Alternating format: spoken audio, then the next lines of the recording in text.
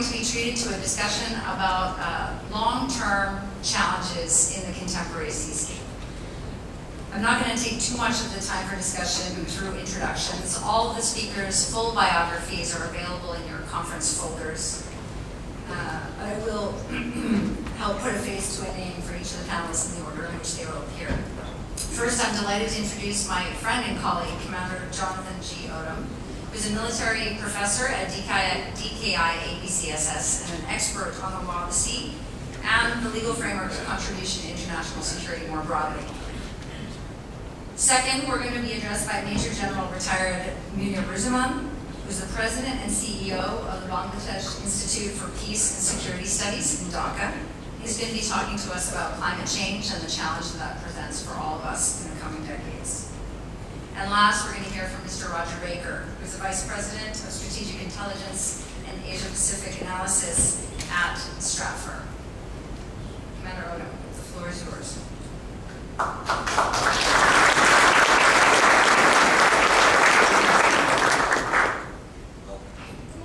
Good morning and kakahiaka.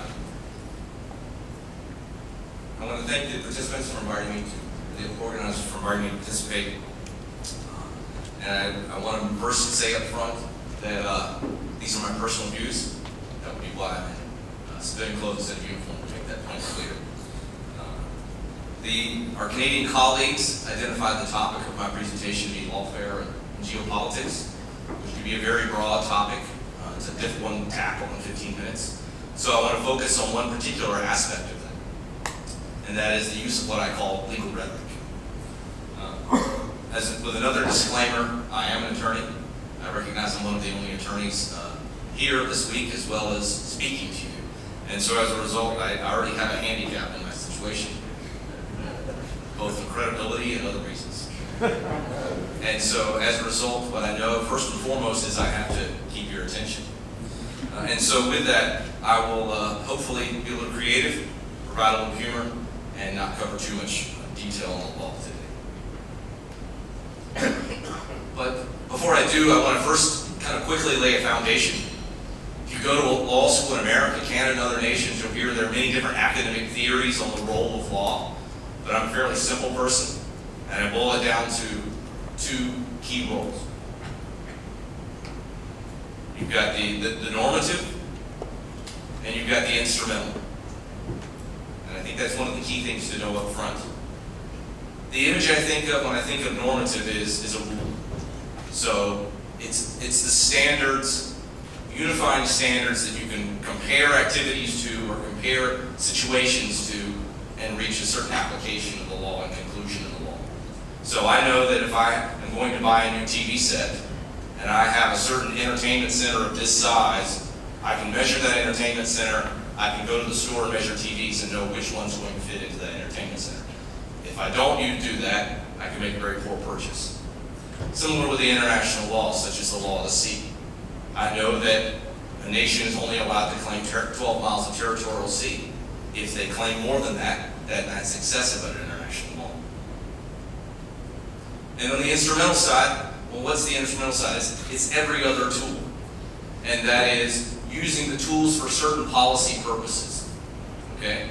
So I know I need to fix this situation, so I pass a national law to make a certain activity a crime, thinking in a, in a domestic context. Uh, internationally, I see a problem with uh, IUU fishing, and so I pass the port measures uh, uh, security agreement. Um, so it helps to restrict IUU fishing. That's an example. Uh, you'll hear certain phrases that leaders will use in talking about these two types of uh, roles of law. And the first, under normative, you'll hear phrases like rule of law. We're a rule of law nation. They're a rule of law nation. Or we call upon nations to have respect for international law. Or as you heard from Admiral McDonald this morning, rules-based order. Or sometimes you'll hear diplomats talk about a rules-based approach. Uh, and then lastly, norm standards, rules, and laws. Admiral Swift comes to the Asia Pacific Center often to be the keynote speaker at a lot of our courses, and he does an entire hour on this one topic alone. So he used to be one of my clients when I was in Pacific Command, and anytime you can have a client that's going to spend an hour talking to, about the law, you know you're in good hands, right? But on the other side, you hear about instrumental and phrases that are used to describe the instrumental use of law, rule by law, uh, or law-related political warfare, or in the Chinese military doctrine, the phrase, the concept of legal warfare, using the law as a weapon. And then a lot of academics, particularly U.S. Uh, legal academics, have, have talked a lot in the past 15 years, since the September 11th attacks, about lawfare. Uh, they've attempted to define it using the law as a weapon of war, or using the law uh, to achieve uh, objectives, military objectives. So those, all those phrases themselves can in some way be rhetoric. And so it begs the question, like the old cliche about terrorism, is one nation's lawfare simply another nation's application of law or another nation's rules-based approach? I would argue that, that they are different. And I would offer to you this morning that there's often a way to, to tell the difference. I'll do that by providing you with two concepts, two images that hopefully will stick in your mind after you leave this conference. First, diamonds, something we all know about, right? And second, rednecks. so you ask yourself, oh, Odom, why are you talking about diamonds and rednecks? Because I know most of you are not lawyers. And I'm not going to talk about a whole lot of rules of law, but I am going to talk about things that we can relate to. So with diamonds, how many of you raise your hand if you've ever purchased a diamond? Raise your hand. Okay, see?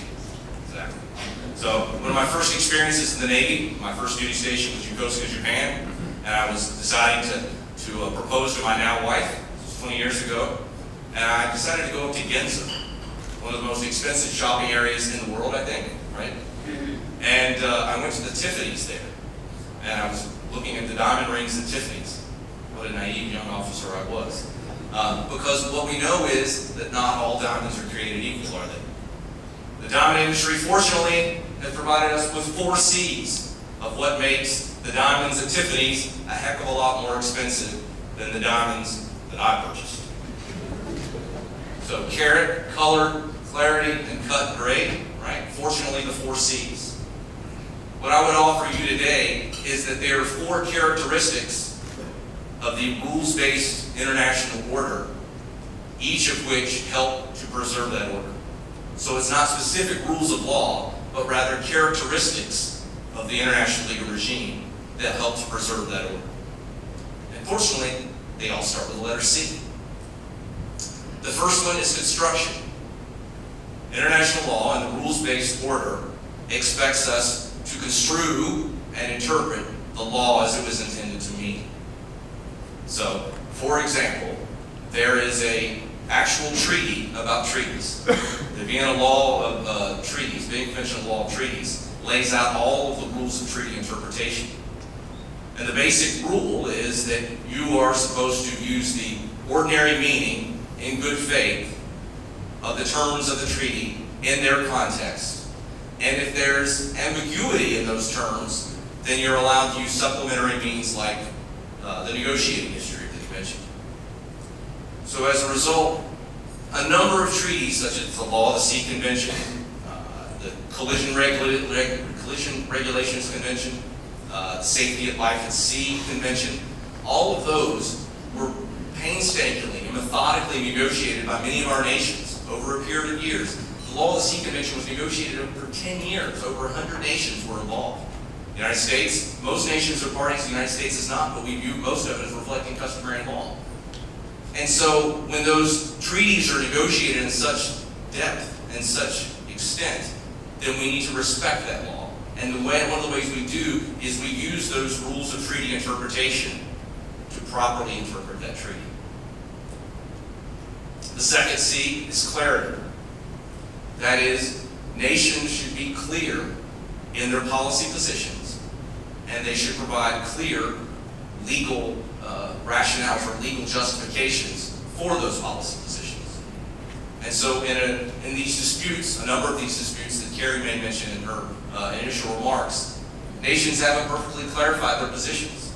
And so how can you reduce areas of dispute until you know what each nation's position is and what its basis under established international law is. Okay.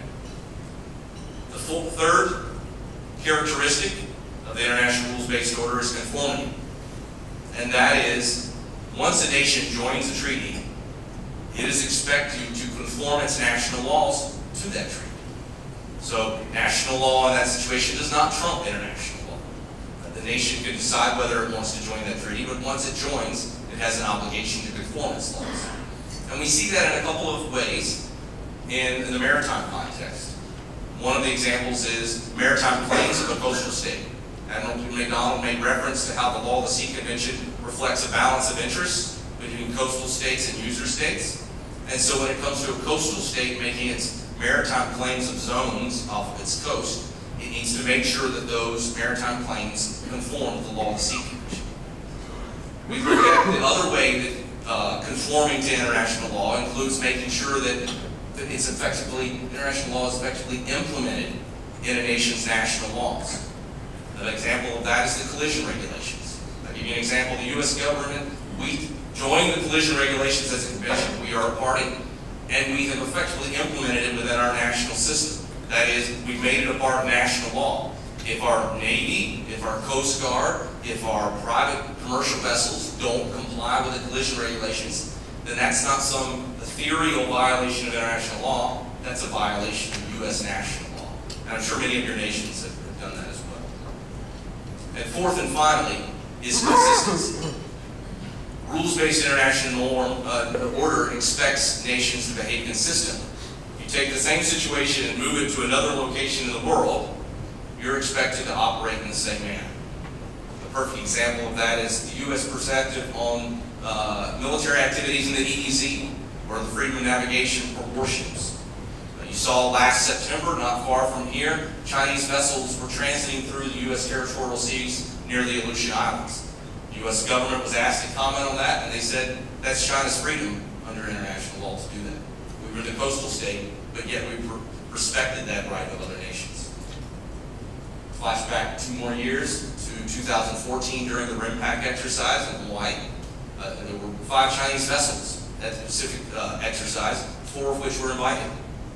The fifth was an intelligence collection vessel. Admiral Locklear, then the commander of Pacific Command, was asked to comment on this, and he's another Southern gentleman like myself, and said, well, it just means to me that the debate is over. And what he was saying was that that freedom of navigation is a global freedom, and it applies to every nation and every part of the world. So with those four C's, it still takes us to that situation of uh, legal rhetoric and the challenge that that poses. Legal meaning of the law, rhetoric meaning a uh, the art of speaking or writing effectively. So if you combine the two, here's my definition that I offer to you, and that is the assemblage of law-related clauses or language to make a political argument. Now you're still saying, oh, you haven't helped me any. How do I figure this out? And that's where we talk about rednecks. So how many of you have heard of comedian Jeff Foxworthy? Raise your hand. Yes, I know even a lot of the Canadians.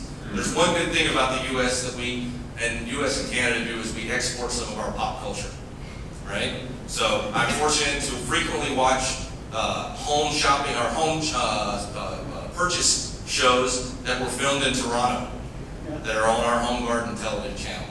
But likewise, I know that many of you are familiar with, in Canada, with Jeff Foxworthy and his humor, because he's done uh, comedy uh, routines here in Canada, and in fact, I found one website that was might be a Canadian hit. But one of the things that Jeff Foxworthy is famous for is a, a comedy routine that talks about you might be a redneck hit, right? And so he gives examples in if you uh, have ever broken your tooth while opening a beer bottle, you might be a redneck. He says if you if you've ever uh, mowed your lawn and found a car, you might be a redneck. And he says if you all of your children's middle name is Elvis, then you might be a redneck. And for those of you who are not familiar with rednecks, it's one of those kind of things that I think each of our nations have, is that friendly joking between rural and city people, right? So the rural people are often, some of them are often referred to as rednecks. So that's what we're talking about here, for those of us familiar with U.S. pop culture. So what I would offer to you is, uh, instead, you might be legal rhetoric. and I will provide a top 10 list to determine, to, determine and provide practical examples of whether you might be legal rhetoric. If you are written solely by a nation's political and policy officials without any legal review or legal advice, you might be legal rhetoric. That's not for me advertising that you all need to hire more lawyers, but rather lawyers bring a certain skill set to the table and a certain mindset of applying the rules of law to the facts of the situation. That's what getting at. If the only international court you are submitted to is the world of court of public opinion, then you might be legal rhetoric. And what I'm getting at there is, if you feel like you only have to talk in short sound bites about the law, uh, and you don't have to defend it further, then that might indicate that it's legal rhetoric. If you twist the ordinary meaning of the terms of the treaty, then you might be legal rhetoric. Take the terms of the treaty out of context, perfect example of that, I know that some nations that disagree with the freedom to conduct military activities in the EEZ will say that violates the peaceful use clause of the treaty, or the peaceful uh, purposes clause of the treaty. But when you go to the treaty itself and look, that clause applies to everywhere, including the high seas. So does that say you can't conduct military activities in the high seas? No. But if someone takes that clause out of context, then you might think that, that they were making a strong legal argument, but in fact they were engaged in legal rhetoric. Number six, if you ignore the legitimate subplayer means, the negotiating history, there are a number of things that if you look at the law of the sea convention negotiations that were clearly intended by the parties.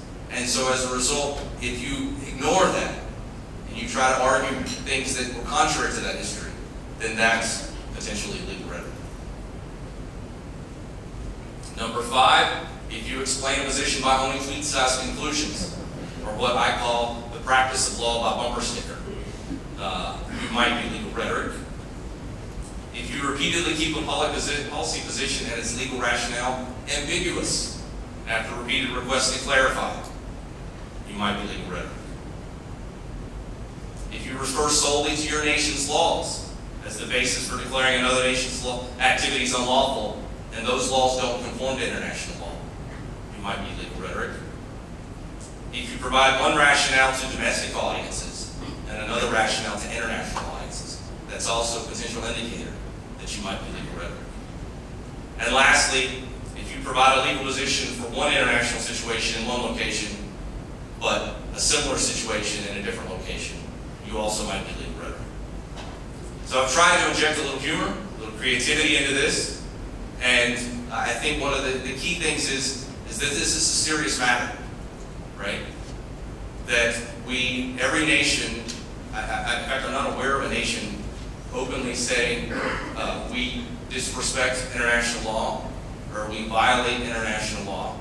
So everyone wants to be on the side of the law. It's just a matter of making sure, we talked about these maritime security challenges for this conference. And one of the challenges is that we make sure we challenge other nations to follow the rules of law and to that we dive deeper beyond the legal rhetoric. Admiral Willard, our uh, former boss at U.S. Pacific Command, he also often talked about mature dialogues and immature dialogues. And he said the difference between a mature dialogue and an immature dialogue is an immature dialogue is where you just repeat the same talking points back and forth across the table over a series of meetings. And an immature, uh, excuse me, a mature dialogue is where you move beyond those talking points and dive a little deeper in the conversation. And I think that's where you can make progress. And so as we learned at the Asia Pacific Center, it's very important primacy and recency. You start out and you close in the same fashion. Repetition is the key to education. And so I leave you with one image that I didn't think would be possible to bring diamonds and rednecks together. And that is a wedding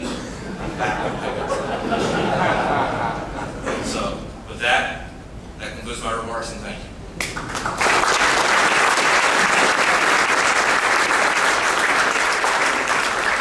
Thank you, thank you for uh, taking us well beyond the usual confines of the legal discussion and short exploration, uh, very unique. So now I'd like to welcome our next speaker, who will be addressing a different kind of long-term challenge, climate change. General, the floor is yours.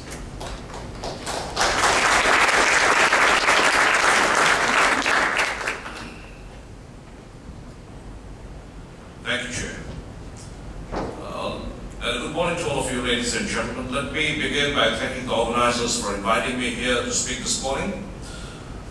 What I'm going to do over the next couple of minutes, speak to you about the changing climate and what significance it has for the maritime space. In the presentation that I have, I'm going to use it selectively so that the chair doesn't have a chance to use either the yellow card or the red card. So please have a look at the screen to see the rest of the presentation.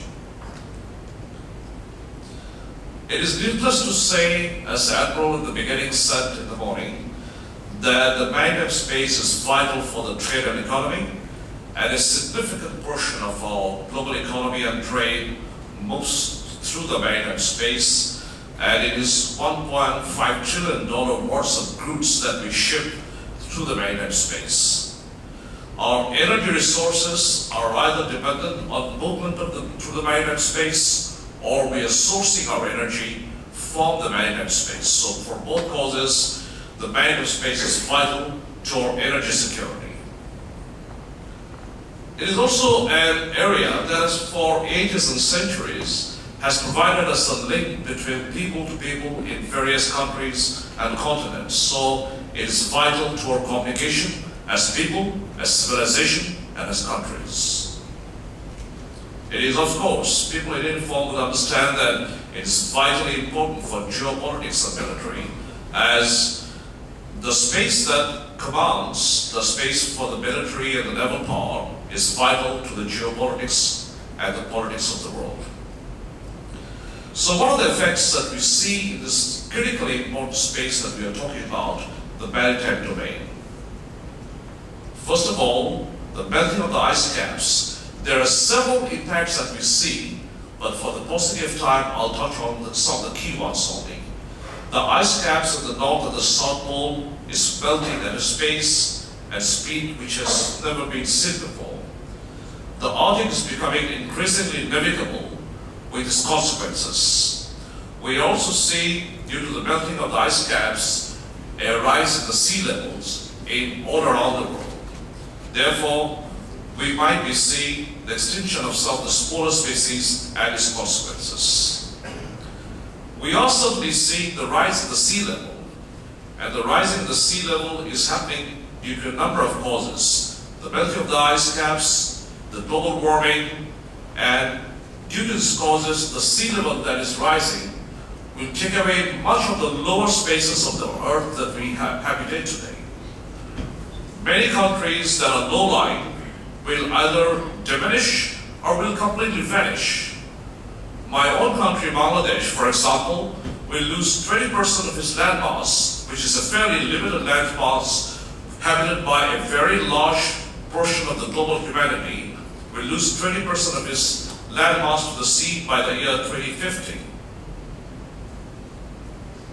We also see changes in the ocean temperature due to the climate change, and the temperature of the ocean is rising the rise of ocean temperature can cause methane hydrate to melt, leading to increase in methane gas, which in turn will increase the global temperature.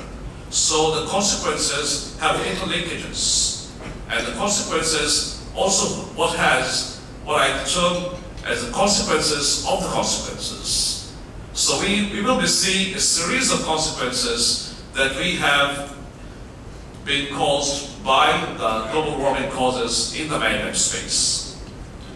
We are now seeing a process of coral bleaching, and the coral bleaching in the ocean uh, due to the rise of ocean temperature, the salinity and the sedimentation have definite and very negative effect on the marine life that we know today. As Admiral mentioned in the morning again, we are seeing the specter of an acidic ocean. Due to the increase in carbon dioxide in the atmosphere, the world's oceans are 30% more acidic today than before the Industrial Revolution. By 2100, the acidity will reach a level which will be higher than the 20 million years ago, making, the, making it completely inadaptable to, to many of the marine spaces that inhabit that space today. we are suddenly seeing an increase in the weather severity. Many of us in various parts of the world have experienced either increase in the number of the weather severity or in the magnitude of the weather severity events that we experience now. And this is likely to increase in the coming years as we have more weather events with devastating consequences both for life and property.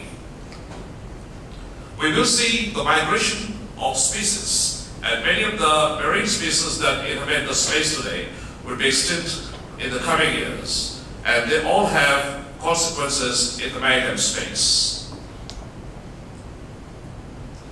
We are likely to see explosions and leaks of hydrocarbons.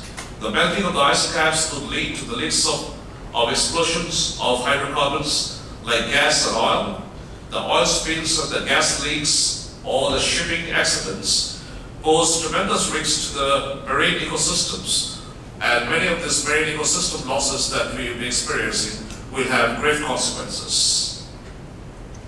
So, having just given you a brief description of the changes that might come, which are all negative, what are the major implications that we are likely to see in the maritime space in the coming years? First of all, there will be tremendous loss to coastal infrastructure. And when I speak of coastal infrastructure, many of our coastal infrastructures are directly tied either to our economic infrastructure or to our energy infrastructure or to our military infrastructure. All these key cases of infra infrastructure will have tremendous losses because many and most of these infrastructures are located close to the sea and the shorelines. The loss of the critical infrastructure will have impacts both on trade and the global economy. This could be increasing, could be leading to increasing poverty and hostile bilateral and multilateral relations. We will also have damage to offshore energy facilities that can adversely affect the energy security of our regions of the world. The maritime energy facilities like the offshore oil and gas fields, floating gas terminals are expected to face substantial damage due to weather severity events. And similarly, many of the shore facilities will have the same kind of fate. We wish seeing the shrinking of the living marine resources and the marine resources like the fish resources can be affected by degradation of the marine space that they inhabit. In some cases, it will be affected by the food security of the several countries which depend on seafood for their diets. It will also affect the marine tourism and the reason I mention marine tourism is not only for social purposes, but many countries in the world today depend on marine tourism as a backbone of the economy. So the decline in the marine tourism will also have an impact on those countries' economy and well-being. Countries like the Maldives, the Mauritius, for example, that will have tremendous adverse effects for this. There will be impacts, economic impacts on the coastal region, as there will be immense economic impact on the coastal regions due to the decay of the maritime environment. It will result in increasing poverty. The number of people employed in maritime sector will have to move to new sectors and that will be difficult to have re-employment in many cases. We also foresee that there will be increase in maritime criminal activities for the reasons that as the maritime space become more difficult, there are more and more people being unemployed and more increasing in poverty, there will be more people trying to have criminal activity for the well-being and the living. Therefore, the maritime space will experience more criminal activities in the coming years due to climate change impacts. We also like to see the spread of pandemics and epidemics due to a number of causes that are affected by the changing climate. Migration of pathogens and marine pathogens can affect people living in the coastal regions. And there will be other impacts of the changing climate on human body and the environment and the atmosphere that will can lead to either pandemics or epidemics. The changing climate will also have a changes in the geopolitics, the marine, maritime geopolitics of the world. The melting of the ice caps in the north and the south pole will lead to the emergence of new trade routes. In the Arctic, the Northwest Passage from, from Canada save two weeks of traveling time, for example, then went through the Panama Canal. But then again, at the same time, this will also increase the geopolitics of competition as the new maritime routes open up. There will be effects on navigability as changing environment and sediments due to extreme weather conditions will significantly affect the navigability of ships. Intense, unsafe oceanic conditions and poor visibility for navigation could be another effect.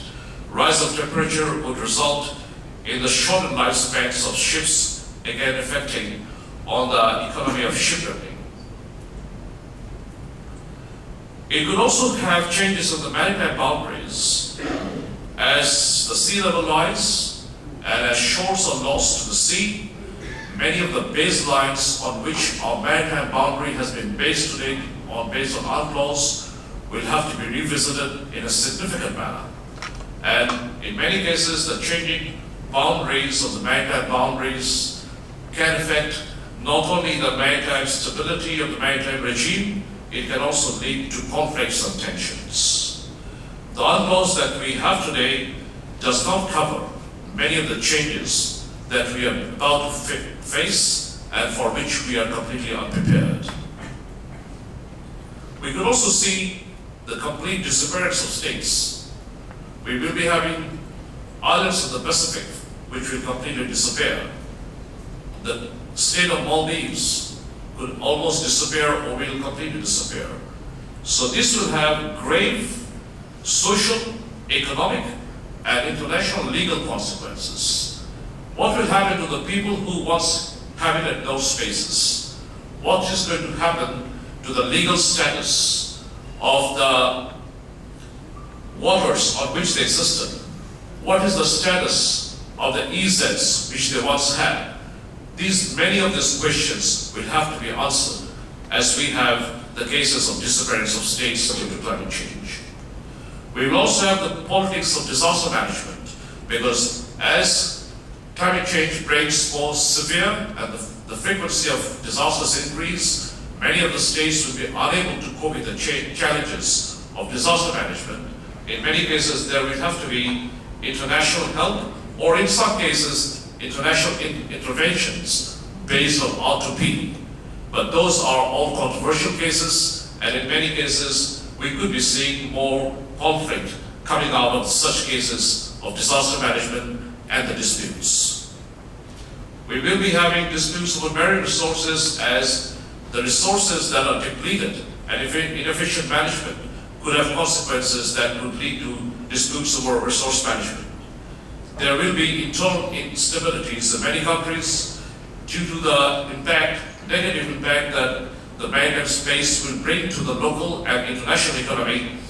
The increase in the global poverty could lead to social instability, in many cases, lead to internal and regional instability. We have seen the impacts of climate change that can bear perhaps tremendous consequences on internal stability of countries, as we saw in the Arab Spring leading to the Syrian civil war. And therefore, such consequences can also come from the mar- maritime space. In the future scenario, as the time is short, I will be very brief, just highlight the headlines. There will be tremendous number of people who will be displaced.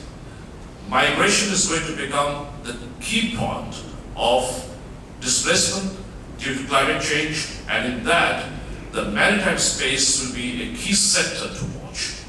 We are unable to cope with a few thousand Syrian refugees. Imagine when countries disappear, we'll not only have a few thousands, we'll have hundreds of thousands. Bangladesh, I'm quoting from the National Strategy of Bangladesh government and also from the IPCC's statements and reports. A 20% loss of Bangladesh trade with the sea due to sea level rise will create a 30 million refugees. We are not talking about hundreds of thousands, we are now talking of millions of refugees coming out of a single country. And for that, we are very, very ill prepared as an international community. We are also seeing the changing geopolitics of the Arctic, as I mentioned. The new routes will open up new avenues and opportunities. It will also open up new battlegrounds for strategic competition. We are seeing the possibilities of marine conflicts as new militarization takes place in some of the seas and new strategic competition begins in the Indian Ocean, for example, or as the US rebalances towards the Asia Pacific and the increased resistance from the Chinese, many of this will bring up the possibilities of maritime conflicts. So what are my recommendations to finish the presentation? First of all, we need to revisit many of the rules and conventions of the international institutions on maritime and related issues to meet the new challenges that we will face, for which we are very ill prepared. We need to establish proper frameworks on issues of migration and the extinction of disappearance of states due to climate change. We need to devote more national and international resources for marine protection and adaptation. We have to build resilience and capacity for HADR. We also have to maintain balance of power in the changing maritime geopolitical realities for which we are ill prepared again, and we have to have new international understanding and regimes to do that. And finally, we need to build new international regimes for marine resource management under the climate change conditions. With that, I would like to say at the end that we are entering uncharted waters. And these uncharted waters have grave consequences on our marine space, on our marine stability, on our marine economy, and our marine geopolitics. And for many of these causes that I highlighted are caused by the changing climate, which we have not faced squarely, and for which, as an international community, we are still rather ill-prepared. Time is running out. It is high time that we take note of this so that we are prepared to face the challenges and the changes that are coming in the maritime space. I thank you all for your patience.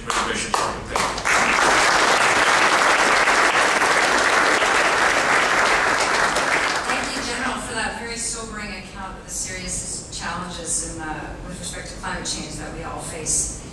Uh, our final speaker, I think, is going to address a topic that sits somewhere at the nexus of these two phenomena, both environmental stress and the uh, vagueness and sometimes inadequacy of our legal frameworks. Uh, Roger Baker is going to talk to us about illegal fishing and geopolitical consequences. Please, Roger.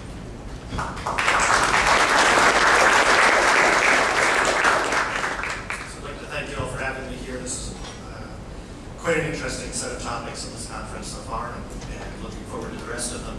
Um, what I'll be talking about really does seem to fall in between uh, these two aspects and even the, the earlier discussion as well. I'm looking at the broader based uh, structure of what's going on in the region. When we look at the Asia Pacific, we see it uh, as land surrounded by water. And you'll forgive me if I take my slides out of order. There aren't that many anyway, um, but we'll come back to those. Um, when we look at the region, you have your populations, your populations are all centered right around the coast. Um, this is this is this is the definition of the Asia Pacific. It is that space. Um, if you think about why people uh, from the start have gone to sea, uh, the first thing and the first reason they go to sea is for food, and then the second reason is for trade, and then exploration and, and things of that sort. And food remains one of these primary aspects. Uh, frequently, when we look at South China Sea, a lot of the discussions are competition over maritime territory, and the discussions center on ideas of uh, mineral resources, oil and gas resources, other types of subsea resources. When you look at the actual exploitation of those resources, many of them are just right around the coastal areas. Um, it's not clear uh, that there really are uh, sort of the next uh, Saudi Arabia underneath the South China Sea. Um, but what there is is fish. Uh, fish, crabs, clams, uh, seafood. Um, and this is uh, not only one of the driving causes of instability in the region, uh, but it's a major component of the economies, it's a major component of the food supplies uh, throughout the area. So if we look at um, the Asia Pacific right now, uh, in Asia, about 50% of the uh, maritime resources that they produce are consumed within the region. Uh, the rest are exported out of the region. So if you look at numbers, China right now exports about 21 billion in marine products. Uh, Vietnam about 8 billion in marine products. Thailand about 6.6 billion. India 5.6 billion in marine products a year. Uh, this is a fair amount of, of economic activity that's taking place. Uh, consumption of marine products in the region. Um, Asia, about between 8 and 20 percent of uh, protein intake in most Asian countries comes from the sea. Uh, if you want to compare that to Western countries, it's usually less than 5 percent. So it's a very significant component of what goes on in the region. 2 to 5 percent of uh, calories come from the sea. Uh, in the Asia Pacific, about 1 percent in Western countries. So even if Western countries may consume more fish per capita, it's a much bigger component of the significant elements of the food sources in these regions. So let's go back and look. Let's look at the region. So when we look at fishing in the Asia Pacific, uh, one of the things you'll notice is that many of the key species of fish in nearshore fishing uh, are overfished um, or fully fished. And if you go by the three definitions FAO uses, uh, depleted or overfished basically means that they are being fished at a level that's no longer sustainable um, and that you, you cannot keep the stocks up and the stocks are going to be depleted. Uh, fully fished uh, refers to that they are just running right along at the edge of the sustainable level. If you significantly increase the catch, you're going to undermine that. If you have a change in the, in the way in which the ecosystems work, you're going to undermine that. And then you have the moderately or underfished. Um, if you were to go forward and look at other parts of the sea, okay, you're going to see very similar uh, in the Indian Ocean basin that we have these same areas uh, where inshore most of the key species are either fully fished or now overfished. And this is the result of two different factors. One is a significant increase in the amount of catch that's taking place. More than 50% of the global catch takes place in the Asia Pacific, um, or by Asian countries. So there is a, a large increase in the amount of fish that they're catching, the amount of seafood. I'm, when I say fish, I'm meaning all sea products, so we'll, we'll take it at that. So we don't have to say fish and clams and crabs and squid. Um, but when, when we look at uh, a, a fairly substantial amount of catch, the more they catch near shore, uh, the more you deplete the stocks near shore, the more that the fishermen need to move further offshore. And the more they move further offshore, the more they start running into each other. And in a region where your maritime boundaries are less than well defined and less than well agreed upon, this becomes a very large source of contention. Um, if you think about uh, oil and gas resources and competition over oil and gas resources, there's been very little actual military conflict in the Asia Pacific over that. If you think about fisheries resources, there's been a much higher level of competition and actual conflict and confrontation. If you take the two Koreas, uh, which are sitting there at the edge of a state of war at all times, uh, their maritime confrontations, where they have sunk and uh, each other's ships, um, killed each other's sailors, have been over crab fishing. So this becomes a very contentious level. Add in, how do you define where are uh, the fish and where they belong? So when we start looking at the idea of IUU fishing, um, illegal, uh, unregulated, unreported fishing, number one, how do you define what's illegal if each country has a different definition of where their border is and where their boundary is?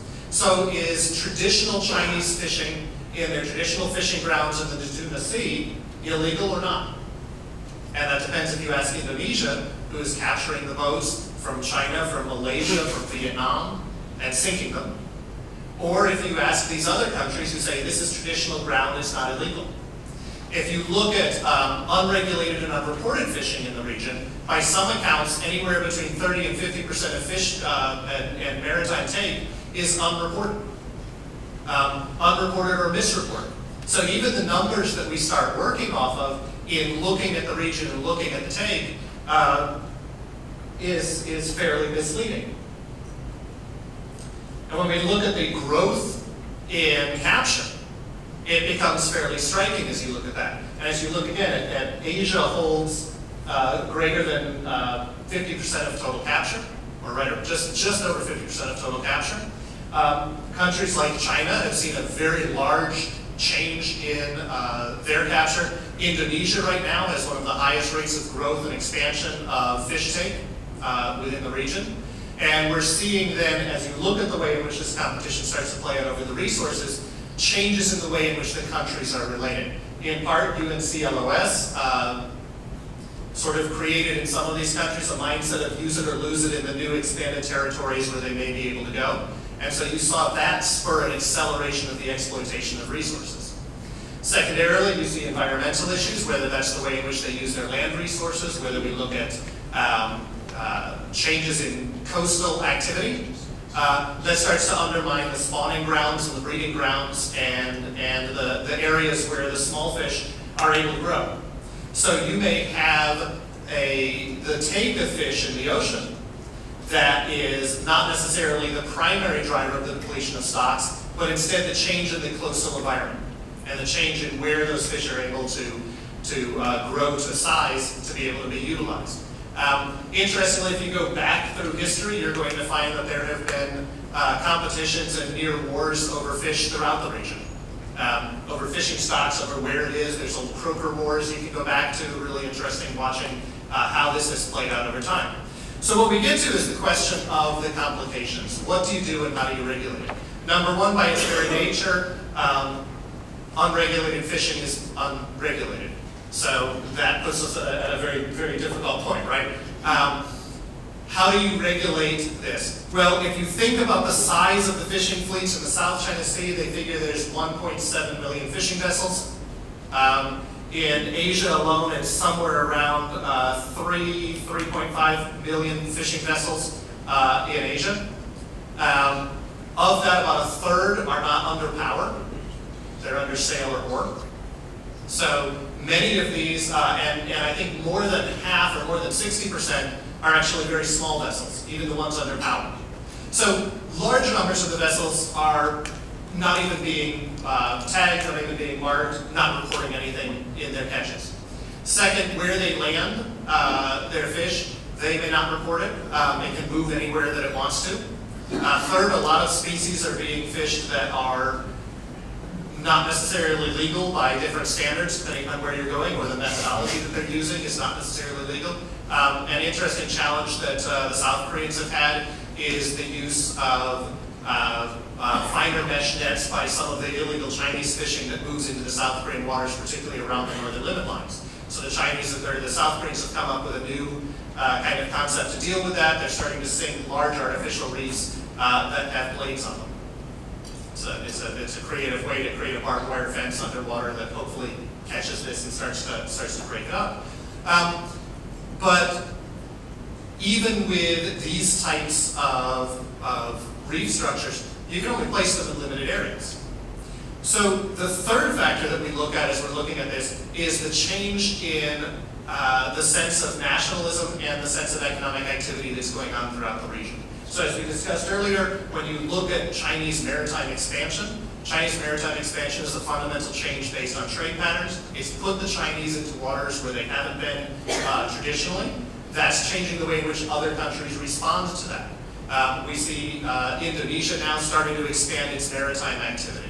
Uh, the Philippines has tried to start asserting its maritime space. Uh, Taiwan um, throughout the region, you start to see this. Thailand probably is the only one that was reducing for a while, particularly in fisheries. Uh, Vietnam is expanding. Uh, Third-party countries are starting to come into the region. Uh, the Vietnamese are inviting the French in. The Americans are there. Uh, you see the Japanese moving into the South China Sea and into the Indian Ocean. You see the Indians moving up into the South China Sea. So this becomes a very complicated place where national boundaries and maritime resources start to overlap. When we look then at the activity of fishing fleets, fishing fleets are both exploited by and able to exploit nationalism and government assertions of maritime competition and maritime claims.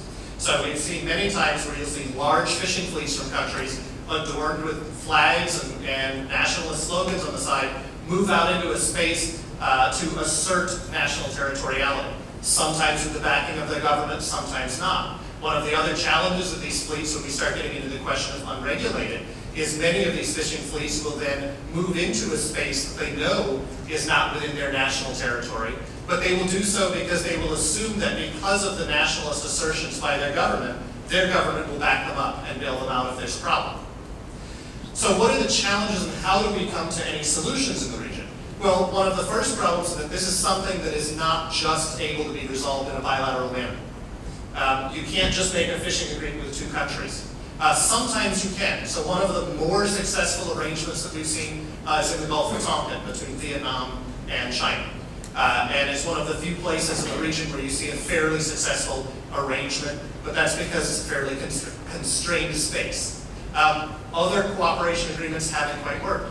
Um, it deals with national sovereignty, uh, which as we will, we've heard with the law is very complicated and, and, we're not going to have resolutions anytime in the near future. Uh, it deals with ecology. In other words, fish don't respect borders. Um, and that's just the reality of it. They're going to go where they're going to go, and what are you going to do about it? Um, it deals also, when you're thinking about ecology, with the type of fish that you take. So if you take the small fish or the large fish not able going to feed on them, if you have a decrease in the large fish, then you start taking more of the small fish or the trash fish. Uh, that starts to reduce the ability of the large fish stocks to restock. So what you end up needing is a very comprehensive mechanism. Yet many of the UN mechanisms that we've seen are the mechanisms on the sideline that are multilateral that attempt to be a combination of ecological, uh, political, and security really aren't holding. And that's because in the end, we're pulling back to national self-interest. And national self-interest, um, both in the, the direct actions of the nations, but also in looking at these aspects of, of the illegal aspects and the unreported aspects, uh, still plays a fairly strong role uh, in the region and in what we're looking at. So I guess as we, as we look at the, the not so complicated map when you step back from it, um, one of the final things that, that I think we can, we can leave with is that this is not an issue that's going to go away anytime soon, it's an issue that's very real. Again, there's a lot of attention on oil and gas, there's a lot of attention on subsea mineral resources, um, uh, methane hydrates, uh, mineral nodules, all sorts of things that go on. But very real and right now is an issue of fishing. And it's an issue that uh, in many cases, is outside the realm of the government to regulate and manage their fishing fleets, particularly as you look at the size of some of these fleets, uh, the smallness of the ships, the large groupings of them, and the fact that this is playing off of very local uh, political aspects that keep these fish going to sea. And I we'll leave it there.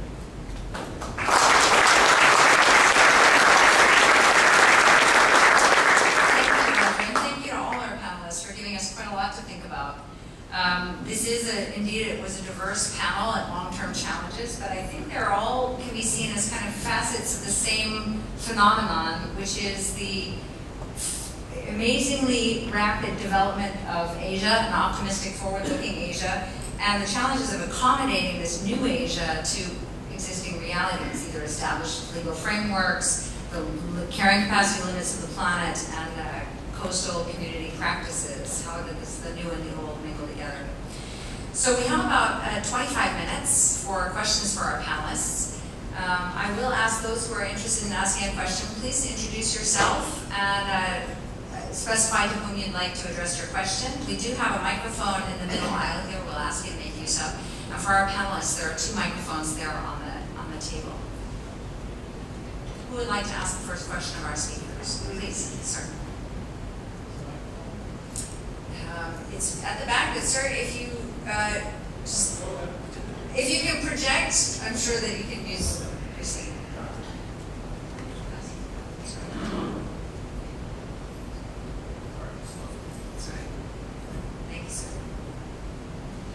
So I'm uh, Riyad Malman, German Navy. I'm responsible in my Navy for plans and policy, concept development, and international cooperation. So first of all, uh, thank you very much for these uh, enlightened presentations. Uh, these were rather pessimistic after such an optimistic start by Admiral McDonald. But uh, perhaps uh, these predictions were realistic as well.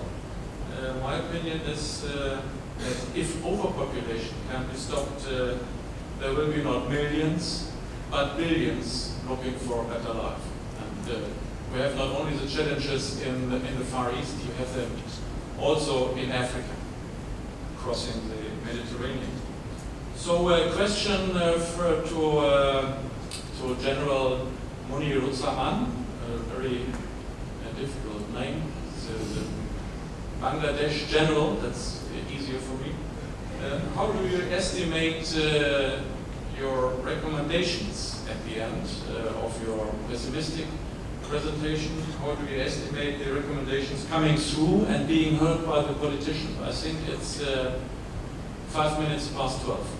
Please.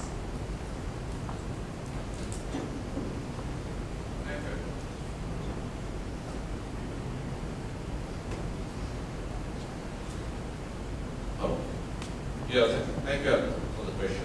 And I, I agree, it's a realistic question. I'm sorry if my presentation was pessimistic, but I just wanted to give you a reality check of the life.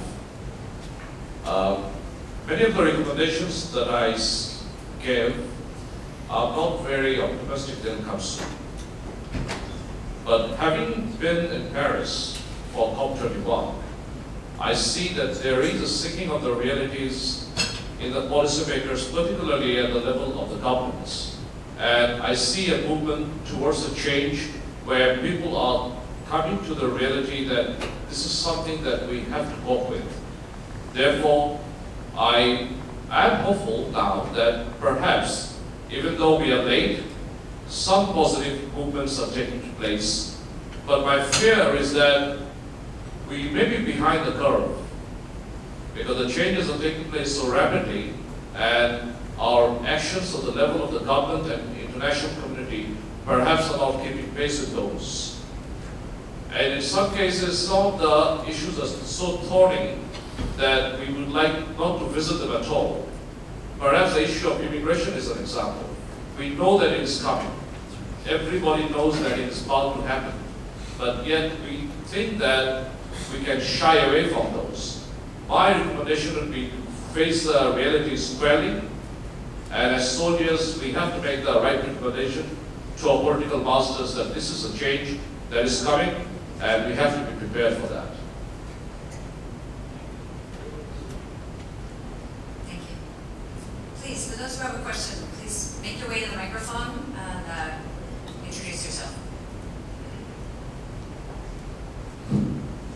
Alexandre Dublé uh, from, from France. I have a question on the lawfare presentation. Uh, often the West is being accused of uh, double standards, especially by China, and by Russia. Uh, how would you uh, address precisely with whose objections by China, that, for instance, the international law, or for instance, in this case of the arbitration, the fact that the judges, they were none from Asia, uh, how would you address the objections that are made uh, to the uh, inter- international law by those uh, nations?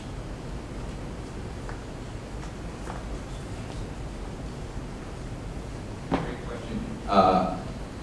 I think that that's uh, what I intended to provide in the presentation at the first part is um, a realist perspective that there is a risk of each nation being viewed as or uh, twisting the law, or manipulating the law. And that's, I think, the safety of the system or the, the, the check on the system are some of those things that I identified. And that is uh, those rules for treaty interpretation. And a lot of the situations that happen in disputes and debates in the international community, um, those rules keep the nations honest on both sides. And so if a nation lays out its arguments and those are inconsistent with the ordinary meaning of the treaty, or the, phrases that are taken out of context of the treaty, then other nations should call, uh, call that out and identify it. And I think that, uh, you know, some of the friction there is, can be a good friction to move beyond those talking points, like I've said. So I'm not saying that uh, instrumental roles of the law, using the law as a tool, there are times that is actually a positive thing, and I'm not saying the U.S. when they, the U.S. uses law as positive and when other, some other country uses it's negative. But I'm saying certain things like uh, when two nations enter a security alliance, that's a, a positive thing. When nations enter a, a logistics agreement so their navies can cooperate, uh, that's a positive thing. Those are using the law as a tool. But when the law is manipulated and taken out of context, or its ordinary meaning is ignored, or when you use the phrase double standard, when a nation behaves one way in one location and another way in a different location in the world, then nations should be called out for that. And I don't just say uh, some other nation, I'm saying that all nations, including the United States. So. Thank you. Rob? Thank you very much, uh, Rob Huebert from the University of Calgary. Uh, thank you for four very good presentations. My question relates, uh, we'll start with Kerry, but I'd be interested on the other three panelists of your view. Uh, the one issue we haven't really talked about is governance, at least at the individual state level. I'm just wondering your views in terms of addressing these multiple of efforts in terms of what it means in terms of the specificality of governance. Now, what do I mean by that? When we look at the issue within some of the problems that we criticize in terms of some of the democratic outcomes, be it the British outcome of uh, the Greex Colombia with the peace accord or even the American election, there are obviously issues that are at hand. But as Kerry brought up so well in terms of China, of course, underlining China's success is functioning under an authoritative governance system.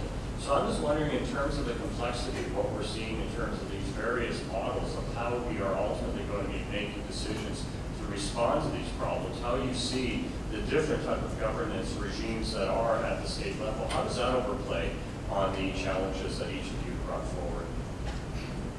A very uh, ambitious question. Thank you for keeping us on our toes. Um, well, I think that was first for me. So I'll start by saying that I appreciate your use of the word governance, which I think is appropriately broad to be applied to the Asian continent. The one thing that we can say about Asia is that it's incredibly diverse in lots of different ways, but certainly in terms of its political character. And there's definitely a lot of uh, interesting and I think justified research that suggests that um, some of the capital intensive investments that were responsible for Asia's maritime rise in the way that I described it were enabled by um, governments that could mobilize a large degree of capital for long-term investment, something that's pretty hard to do when you have short election cycles, as uh, Canadians know well and a lot of Westerners know well.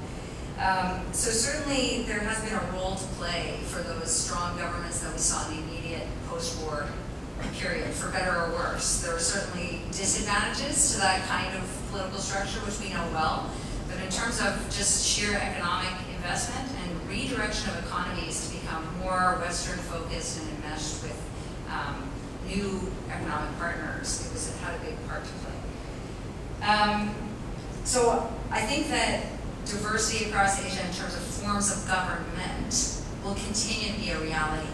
And one of the things that will be a make or break factor both in, in terms of how we govern the seas, not just with reference to UNCLOS, but also with reference to a huge number of instruments under the IMO and bilateral frameworks for management of resources or regulation of trade. Um, a lot of the test will be, can we create governance frameworks that can be used comfortably inside a region so politically diverse? Because where cooperation and coordination has been most successful is where partners have been willing and able to accommodate each other's domestic differences. I, I, don't see that changing. I don't think we'll ever see, and I'm not sure we should want to see a homogenous Asia. That's really for the peoples of Asia to decide themselves. But I do think uh, for those of us like Canada and the United States that seek to engage Asia, Asia, we need to be looking for frameworks that are flexible enough to be able to accommodate diversity in the partnership, and yet firm enough to be able to regulate and provide stability and order. So far we've done it, but we're clearly seeing lots of areas of stress. Um, I'll invite some of the other panelists. I think that uh, one of the critical things is the opportunity and the efforts to understand different perspectives and to engage. And so while each nation's domestic system of government might be different, I think that every opportunity for our militaries to engage is a good thing. You know, I think that a lot of the dialogues, both official and unofficial, that I've attended in my Navy career, uh, you know, we do some sort of dinner. Uh, if we do a dinner the night before the talks start, it dials down the any kind of friction or tension on the first day of the talks because you've started getting to know that person as a human being, right? And I think that, uh, you know, while each nation might have a different system of government, we each have a military. We each have a Ministry of Foreign Affairs. Um, so we do have certain kind of common channels. And, you know, one of the things that the Asia Pacific Centers we pride ourselves on is uh, that opportunity for individuals to engage. And, you know, when you put somebody in a course for six weeks, as opposed to a one-day official exchange of views, they get to know each other as individuals. And we see that with a lot of subject matter exchanges that your navies do with our navies and you do between each other.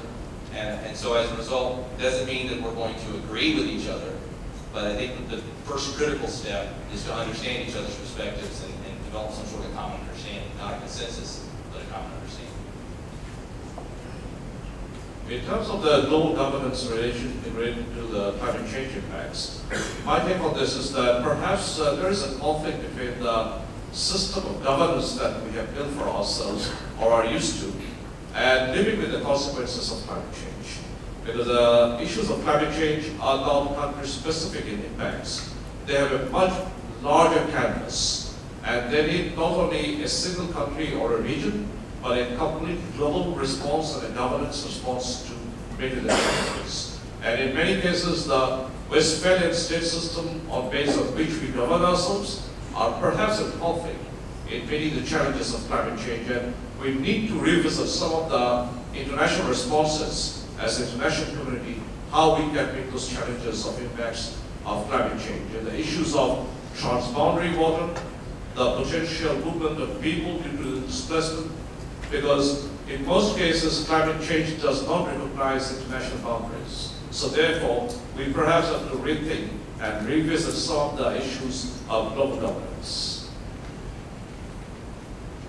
Just, just briefly, I would add that, um, you know, in addition to the, the understanding what each other country, uh, how they see things, um, or looking at the difference, understanding differences, it's maybe being able to focus on a very specific element of an issue uh, where you can agree that there are common norms and common understanding on that issue, and accept that on everything else you're going to disagree, but make sure that on that one issue, all of the other disagreements don't go into it. So you don't, if you're, if you're working on an issue on fishing or on, on a boundary or, or anything like that, you don't also have to have a simultaneous discussion on human rights or economic domination.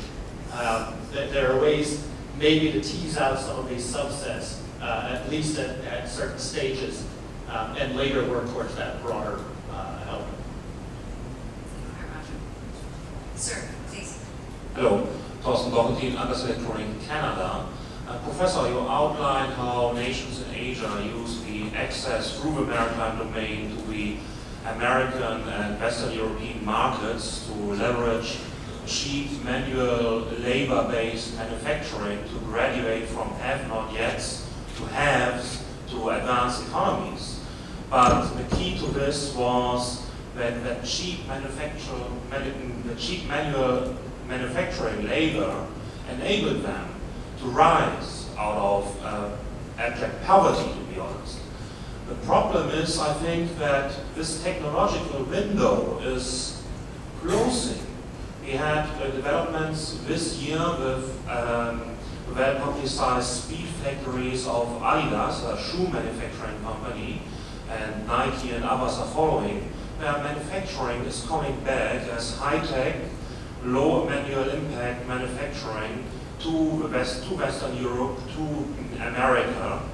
And this opens up the potential, if it extends to textile manufacturing and so on, to close down that economic window of, of opportunity that cheap manual, manual labor-based manufacturing which countries like Taiwan, like South Korea, and initially even Japan used to rise to the industrial nations they are now today.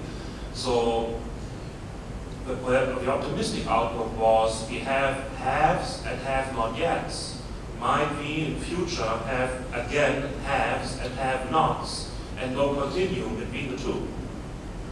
Yeah, that's an excellent observation in the sense that the Asian experience is not necessarily translatable to those that haven't yet um, reached that level of development.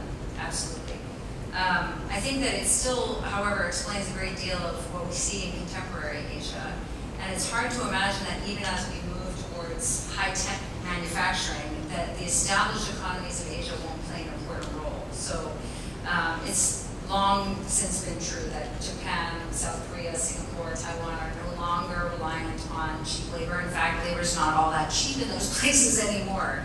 Um, and they're important drivers in this innovative economy. And um, so they will find new roles to play along with European and Western partners, no doubt. But I think the point that you're making, that this model may not be translatable for the next century to those new, not so uh, enmeshed parts of the global economy, like in South Asia, for example, uh, is well taken and should be forgotten.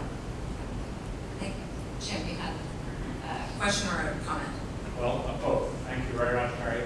Uh, I'd like to commend all the presenters on their uh, presentations. It strikes me that we're looking at two vectors, one which is rising exponentially, and one which is declining exponentially, by.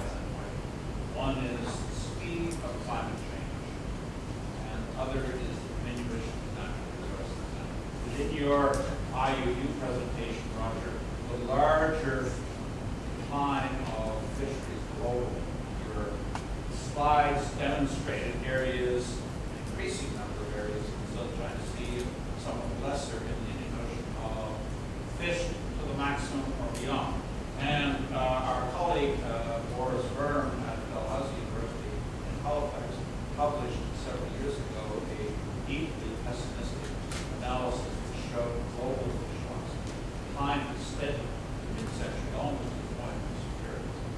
And what I think strikes me is that I don't think, perhaps the bills of the reservation are all right, don't feel that sense of dramatic urgency uh, that I think should really be brought to bear.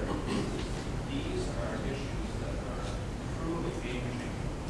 They may not, fish, put it inelegantly, may not seem very sexy, uh, but they are truly game changing. And certainly the issues in terms of climate change are all interconnected. Uh, inter- uh, and I come back to you, Roger Ramon.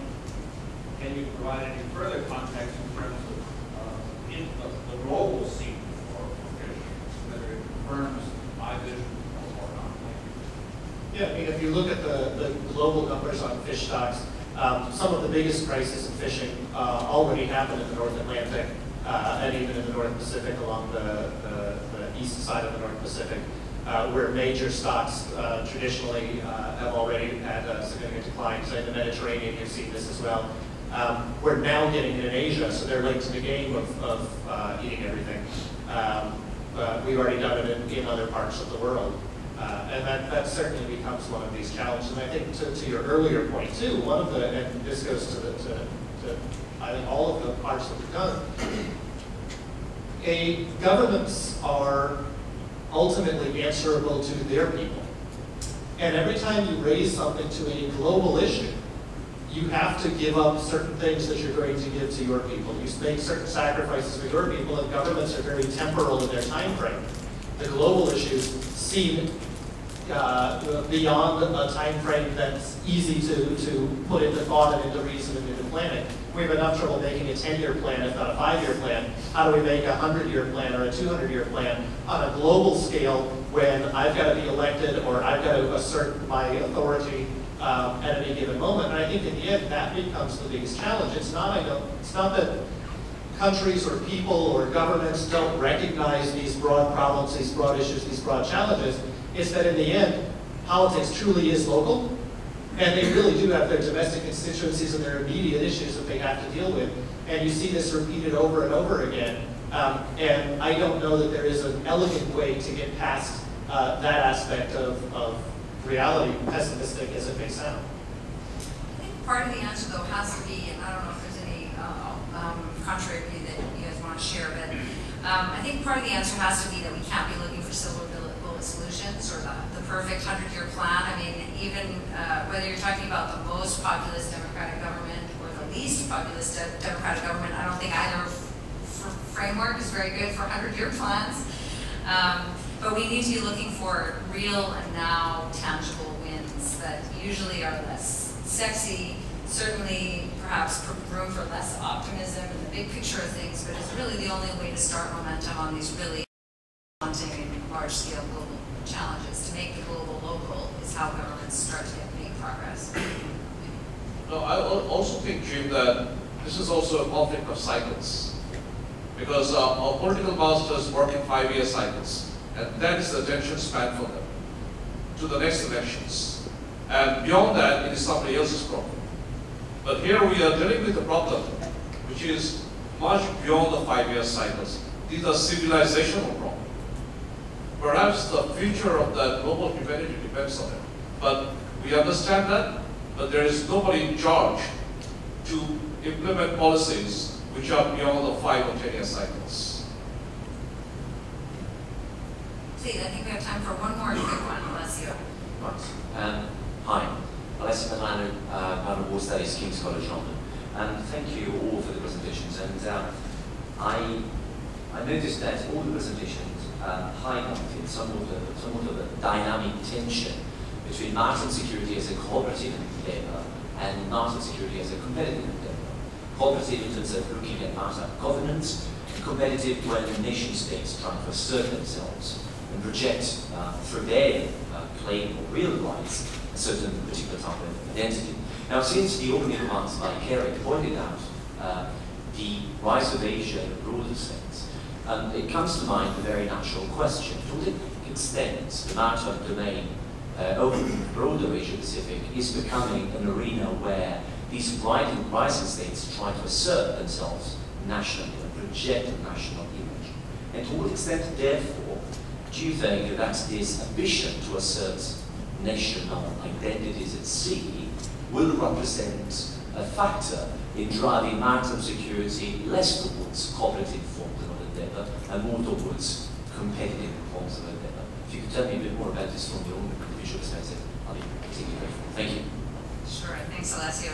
So I think the question is um, slightly, as you would say, slightly naughty in the sense that you've kind of provided the answer in some of the question, which is, is are we seeing the maritime domain becoming more competitive and less cooperative? And um, one of your colleagues, Dr. Geoff Till, I think characterizes this nicely by saying that in around the world, but certainly in Asia, we're increasingly seeing a dichotomy between postmodern navies navies that see uh, global commons as everybody's shared responsibility and are taking cooperative approach, approaches to transnational problems, and modern navies that are still pursuing sea power in a very conventional and somewhat familiar, if not optimistic way. Um, and I think the answer is that clearly you're seeing both. Think that is probably the natural state of affairs. I'm not even sure it's entirely unhealthy. Um, sea power, obviously, any nation's most important customer is its own people, and it would be wrong for um, nations, navies, or other maritime services not to pursue the strong assertion and consolidation of their interests and rights in what UN Convention of Law confirms is theirs. Uh, the question again is how do we manage the dichotomy that we're forced to live with? What are our crisis management mechanisms? How do we communicate with our neighbors, even those that we have intense disputes or politicized disagreements with? How do we leverage regional forums to make sure that we're talking to one another even and especially in the most difficult moments? I think the most interesting questions both for practitioners and for academics is delving into the how that management process will happen, less so um, sort of black and white conclusions about what kind of future we face. Clearly the future is going to have upsides and downsides. Um, it's really just a question of who we choose to be in that more complicated reality. Are there any other comments from the audience? All right, well with that, I'm going to ask you to join me in thanking our uh, expert panelists for excellent